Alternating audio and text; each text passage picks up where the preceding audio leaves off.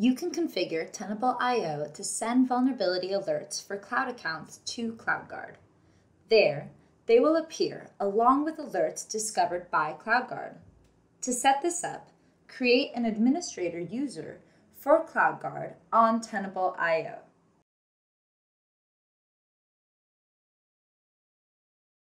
Next, generate API keys and copy them to CloudGuard.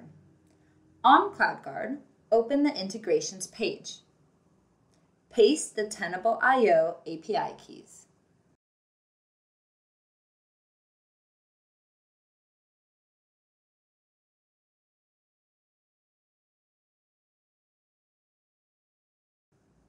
And we're done.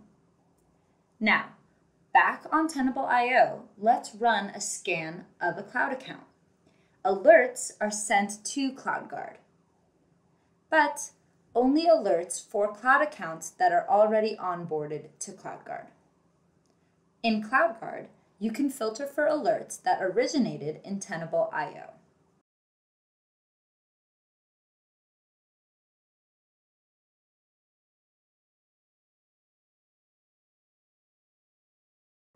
You can also create compliance queries based on findings sourced from Tenable.io.